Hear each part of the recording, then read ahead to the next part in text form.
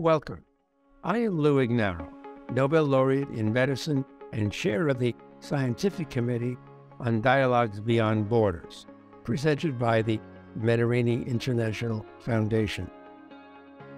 Today, I am most pleased to present our interview with Professor Marla Sokolowski, who is a university professor in the departments of ecology and evolutionary biology at the University of Toronto in Canada. She has reshaped fundamental concepts in behavioral evolution through her discovery of the foraging gene, which regulates normal individual differences in behavior. Professor Sokolowski has applied her work to early childhood development, demonstrating how children at risk benefit from nutritional, educational, and emotional interventions. In this interview, Professor Sokolowski will talk about this influence of epigenetics on childhood development. I hope you enjoy this interview. Welcome, Marla Sokolowski, University Professor, Department of uh, Ecology and Evolutionary Biology at University of Toronto, Canada. This is Dialogues Beyond Borders. It's a, a project organized by Fondazione Internazionale Menarini. And we are going to talk uh, about perspectives of science, but also limits and boundaries of uh, research. First of all, let's start with a personal question. So, uh, why did you uh, choose to, to, to become a scientist? I've always really liked to watch the natural world. I remember as a very small girl going to the creek near my house with a bucket to collect animals and insects and, and watching things. And when I was in school, I really liked mathematics and science. I wasn't very good in languages, and so you drift towards what you enjoy. Neither of my parents had the opportunity to go to university. We were encouraged to work hard, do well, uh, I came from a family that didn't have a lot of opportunities, and so I loved studying. My mother was a kindergarten teacher, and the big game was learning how to spell words and do math and wherever I was. And so, and my father, although he only had a grade five education coming from Europe um, at a hard time, he loved to read and we always talked about ideas at the dinner table. So I knew that I loved thinking about ideas and that I wanted to have a life where I could always learn uh, from a pretty young age. And now you deal with behavior, which is a very huge area. So, how can we define behavior? What's in, in this word?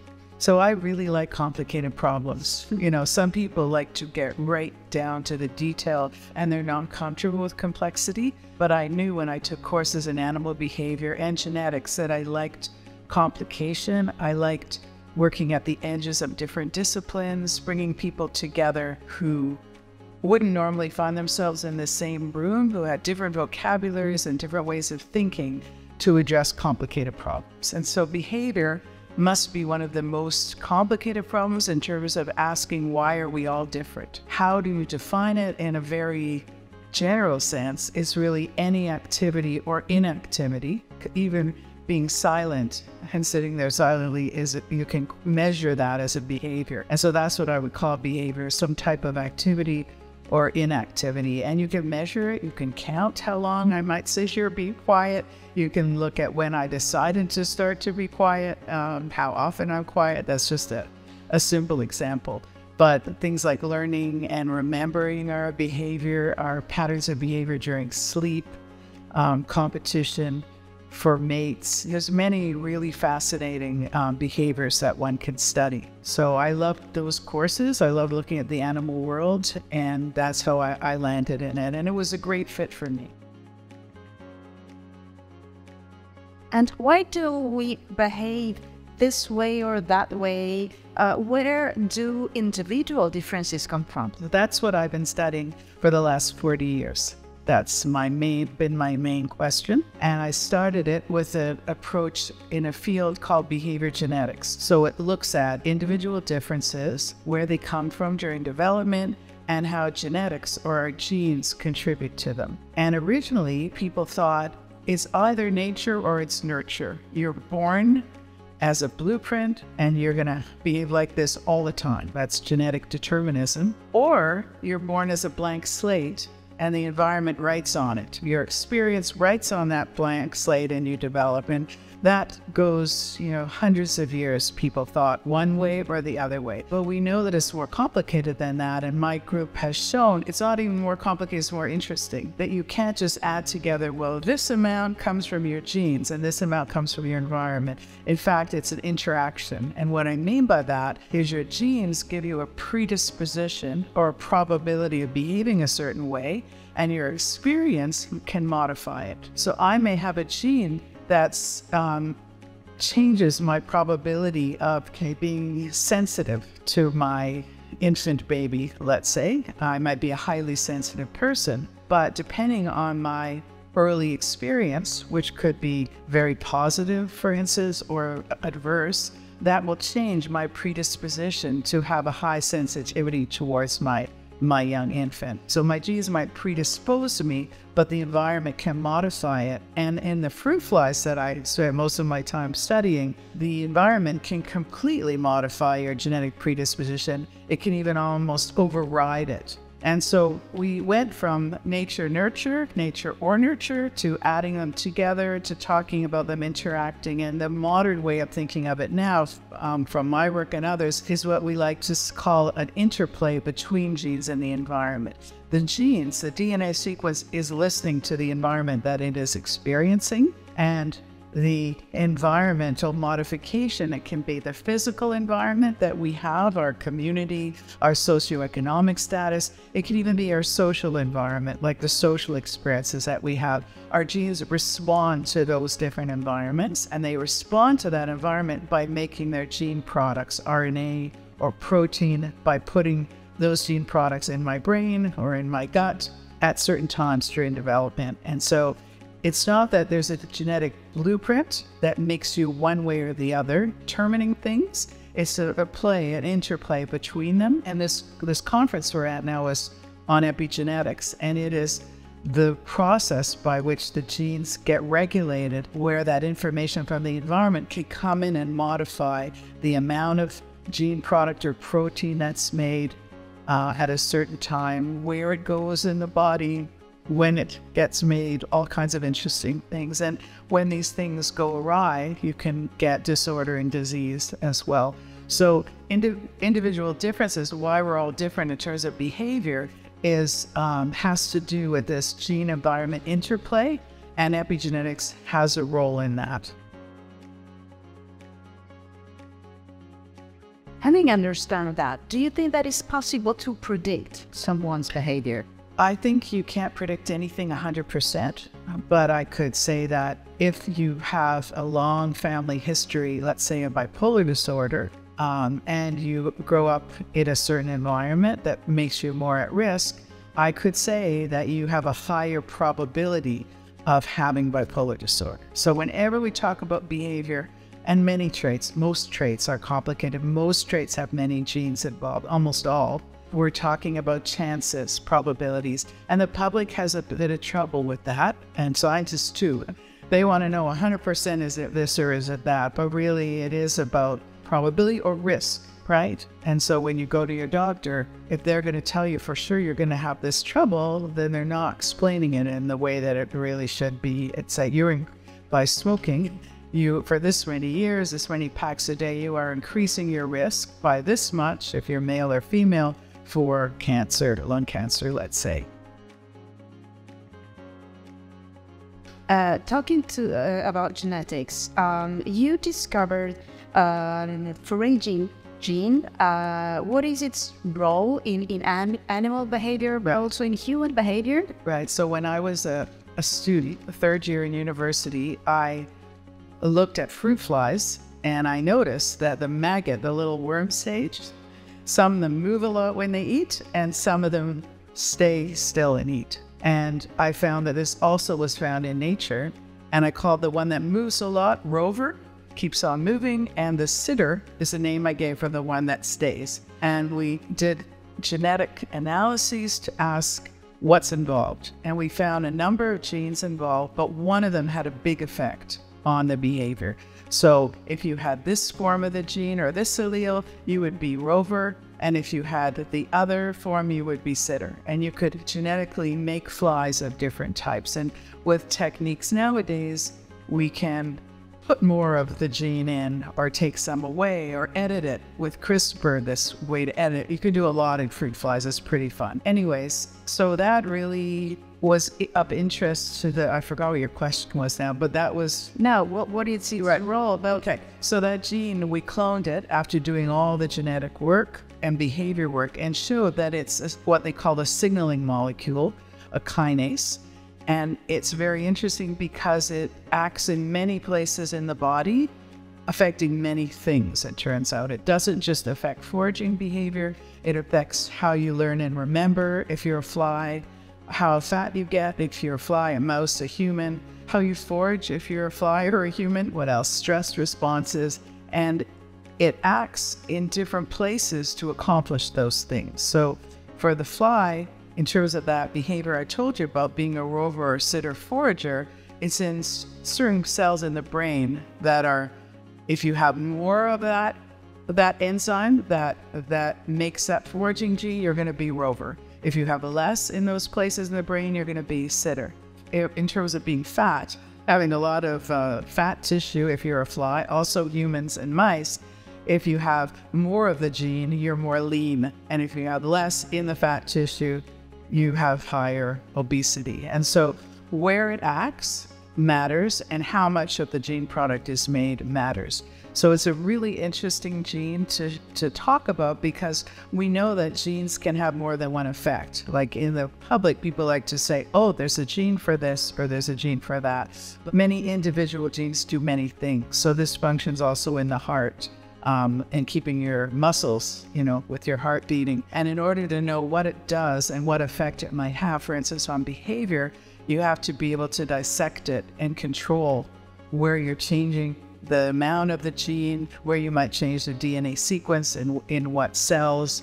And um, you can also give the flies um, poor nutrition in early life and change a rover into a sitter. And so you can modify the behavior and the expression of that gene by giving them experiences. Social experiences change them. If you isolate the fly, they will be affected differently when they go and have a party with other flies. So you can really study this gene environment interplay in terms of the behavior and the metabolic, the metabolism, and also at the level of that gene. What what's happening is epi, epigenetic modifications coming in and changing it. And we know that the difference in the adult foraging behavior, how much you live around a dish and how many food drops you find, has to do with epigenetics. And so there's a little tag that is put on, it's called a histone. The DNA sequence get, gets wrapped around it. And if you have that tag, the gene is not expressed a lot, you have less RNA, and if you don't, you have more RNA, and that explains the difference in sitter behavior in the adult fly and the dish. So it's a great system to look at. In terms of humans, all we've done with this um, is look at human foraging behavior. Um, we have students, hundreds of students, sit down at computers this is with a, a psychology professor, um, James Danckert, and a woman professor, um, Abby Scholer at University of Waterloo. Actually, the way this started is that there's personality traits in humans. They taught me this. Some people are assessors, so they sit around and they evaluate all the information in the environment and then collecting they don't act quickly. They collect information and then they make a decision. It's like my husband deciding we're going to get a new tv right? He investigates everything. And then eventually months later we buy a tv and with me i would have looked at this and that and bought a tv so the assessor is the one who collects information. And the locomotor is the other personality type that's always on the move. And so you're it's not just that you're physically on the move but your mind is on the move and you can evaluate that in humans by giving them questionnaires. And that's done with university students in these studies that we did, where you looked at how many drugstores or grocery stores did kids go to, um, how much time did they spend partying, having dates, um, on, on exercise equipment and how much time did they sit. And, and you can get a score of being a locomotor or an assessor. And then when you take the human foraging gene, because humans have it too, you can find a genetic alteration in it and it's associated with your tendency to be more of a locomotor or an assessor. And then when you take those people and you give them this uh, foraging assay where they're sitting in front of a computer, sorry, I have to backtrack, and it, the little balls of, of cherries come chip through the screen, you know, and you're poking you. As soon as you see a cherry drop, you hit it, and they come from all over. You find that the, their search strategies for how they look for these cherries is the same as my fruit flies. So the assessors go all around the edge and then they come in to grab it. Just like our fruit flies, will, the sitters will be around the edge and then they go in and grab some sugar and come back. But the, the rovers always go into the middle, search around. And so the two, the human type is the locomotor is, some of them are going like this, some are going in the middle, but the assessor is like our sitter flies. It is always tight around the edge and then coming and grabbing something. And you could imagine if there was a, predator, a jumping spider or something in the dish with the fly, there would be it would be adaptive to keep hiding around the edge and only take a chance to come in the middle. So it depends on the environment. Anyway, so we did the genetics on humans. It found again that there was an association, a probability that if you had one form of that human foraging gene, you would be more locomotor and one more assessor and it was correlated to the choosing fruit, pretend fruit in the screening.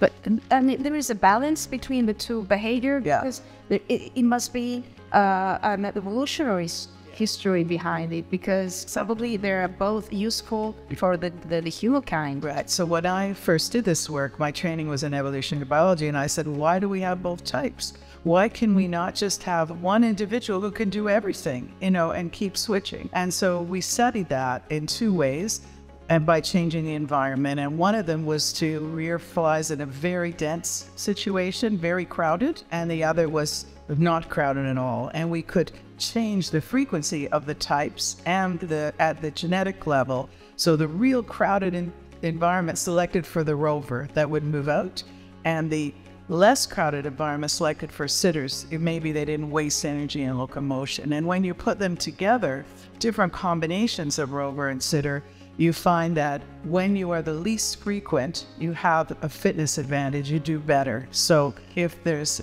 10% sitters and 8 and 90% rovers, the sitters will have more babies than the rovers. But if it's reversed, there's 10% rovers and 90% sitters, then the rovers had an advantage. So whenever you are the unusual one in that population, you do better. We don't know why. And so that keeps that variant or that form in the population because just by being rare alone, it has more babies. So that those are evolutionary mechanisms for how it is that they both might exist. And in humans, I'm sure it's very, there's a ton of overlap. And obviously, locomotor and assessor is not the only way that you can, quotes, categorize individuals, but there's a tendency for us to be different in that regard, and this gene seems to play some kind of role. It's only an association. It's been replicated a few times, and we need to do more work. But it's a fun, a fun story.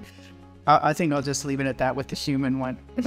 okay, that's very fascinating women in science because uh, do you think that we need more women in uh, STEM? So when I started, I was going to go into physics and math, and when I went to the university, it was so uh, unhospitable for women in those labs and in the classes that I moved to biology and I found it a home there. I was the first professor who was a woman. I wasn't hired on real money. I had to compete for that job. And in the interview, they asked me if I'm going to have children and quit. You know, I experienced all those stories that young women hear about. And it's much better than it was, but there's still difficulties. There aren't a lot of senior women. We need diversity in our, our, in what we do, in science, in policy, everywhere. And when you have a diverse series of opinions and backgrounds and history, you bring that unique perspective to a problem. And so my lab is always made up of people from all over the world, different races, different backgrounds, many women, also men.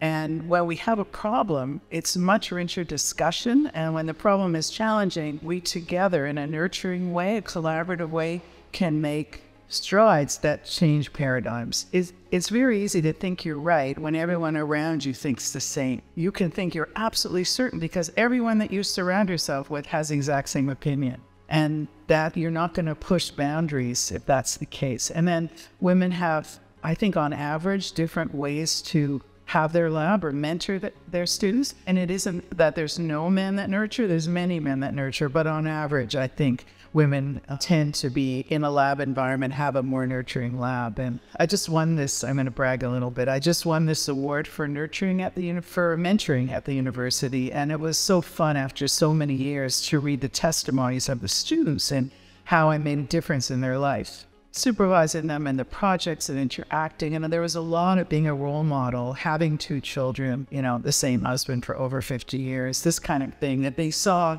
it's possible to do this, right? And it's like a family. When my daughter was tiny and I had to teach at night and she was in the daycare at the university, my students went and got her and, and entertained her, right? So we helped each other. And so it's helpful to, to see it can happen. The project is called uh, Dialogues Beyond Borders. So, do you think that science, and in particular uh, your research areas, needs to have uh, boundaries not to, to be crossed over? So, behavior genetics has a, a tough history. And I never called myself a behavior geneticist until recently. I always said I work in genes and behavior um, because it, it, was used for eugenic purposes. Um, even in Canada with the indigenous population, the Nazis had thought about eugenics, genocides. The idea behind it being is that that group of people are like that, period. It's not to do with their lack of privilege.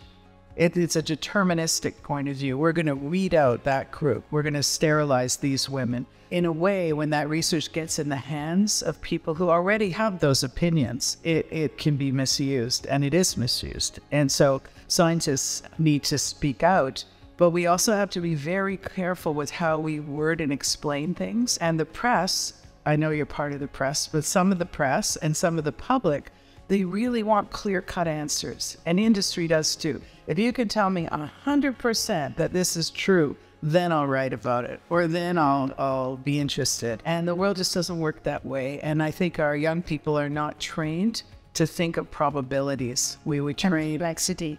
Yeah, we train black and white. It's this or it's not. Uh, it's not.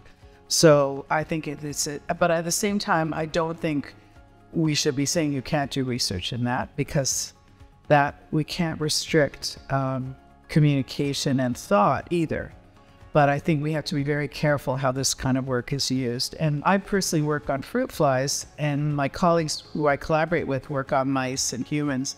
I like the flies. I don't have to feel badly if I have to kill them or, you know, and the ethics required are less, but uh, so far. But I think um, the ethics of animal research is very important. And also we do gene editing in the lab with CRISPR, CRISPR on our flies. But of course, the more you find, then it gets used in other ways. And technology is running so fast, and the use of AI and CRISPR and many of these things that we need to always have bioethicists with us trying to look forward. And then, you know, the algorithms of these big populations, the big corporations. So I think we're in need of ethicists and bioethics and really sitting and thinking about what can this, what can happen with this work. It's a difficult problem. Thank you, Professor Sokolowski. Thank you. Okay, my pleasure.